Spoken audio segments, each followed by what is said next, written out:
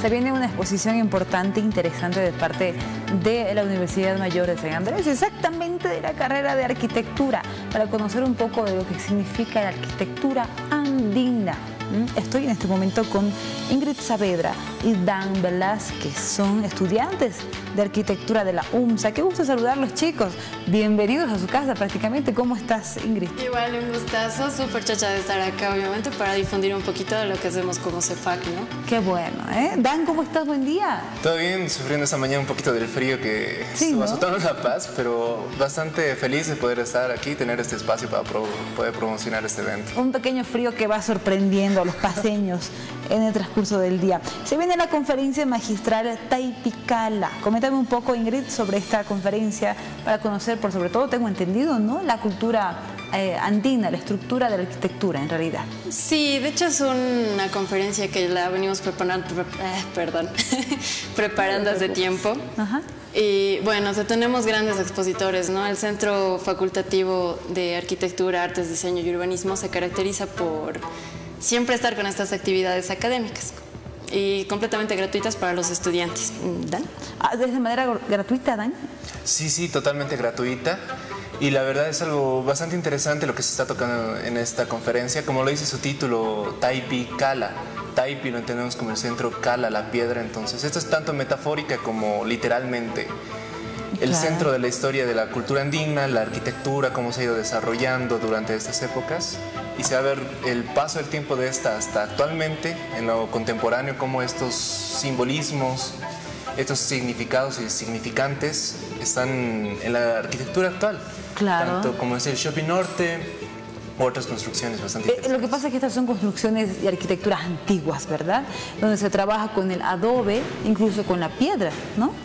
Exacto. Eh, por ejemplo, es, cala es la piedra, lao es la madera, entonces se va a ver también la materialidad, cómo se ha implementado el porqué de todo esto. Entonces va a ser una, algo bastante interesante. Por ejemplo, eh, Dan, si nos puedes comentar algo para que la gente quede un poco picadita ¿no? de lo que se va a tener, estructuras antiguas. Por ejemplo, tú decías el Shopping Norte, que es una construcción antigua en La Paz. ¿Quién lo diría? Hoy la vemos ¿no? muy actual, con una eh, fachada, si se pudiera decir así, no sé si estoy con el término correcto, pues muy actual, ¿no? incluso con las, con las gradas... Eh, estas automáticas, ¿no? Eh, pero es una construcción antigua, una estructura prácticamente antigua, ¿no? Sí, de hecho no, ah, más bien no, no es una estructura antigua, pero más bien se nota cómo es la utilización de estos símbolos en sus fachaditas. Claro. Cuando pasamos por ahí vemos los grabados, que se asemejan mucho a los grabados tihuanacotas, ¿no? Entonces, eso es lo resaltante, cómo hemos agarrado estos grabados antiguos y los seguimos utilizando actualmente. Incluso los, el edificio de Entel es otro ejemplo, nuestro monobloc de la Universidad Mayor de San Andrés. Claro, con los rasgos de una estructura eh, andina, ¿no? Algo así. A ver, algunas construcciones antiguas en la ciudad de La Paz. Eh, en la ciudad de La Paz podemos encontrar tal vez eh, lo que es, no construcción, pero podemos encontrar lo que era antes el monolito, tiene grabados tihuanacotas, mm. entre otros espacios que la verdad resalta mucho. ¿Tipo de arquitectura más antigua en La Paz, Dan? Tipo de arquitectura más antigua, tal vez podemos manejar, no se me viene mucho a la mente, pero tenemos mm. en, cantidad. Bien. Tenemos mucha inspiración de esta misma. ¿Cómo la gente puede ser parte de, esta, de este magistral evento? Eso, eh, bueno, como lo decíamos al comienzo, eh, estos eventos académicos los estamos generando para, más que todo para que los alumnos y no alumnos estén presentes.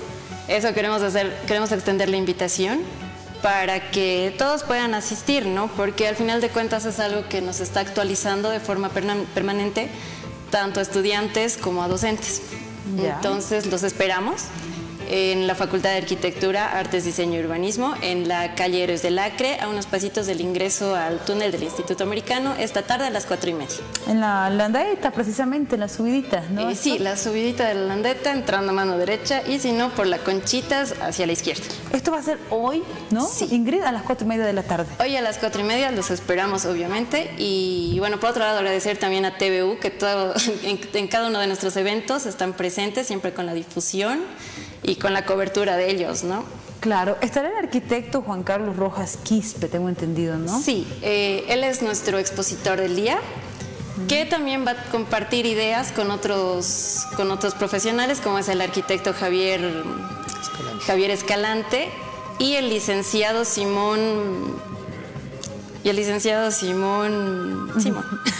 Se me fue el apellido. Eh, sí, lo, lo, lo, importante es que los docentes colaboran tanto en este tipo de eventos como esta conferencia magistral Taipicala que se va a realizar precisamente en la facultad en la carrera de arquitectura justamente.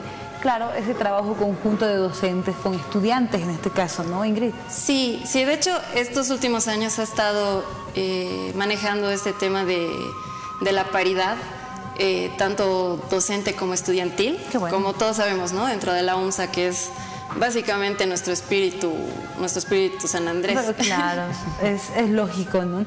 Los estudiantes se preguntan si es único día de esta conferencia o va a haber tal vez otras oportunidades, Ingrid.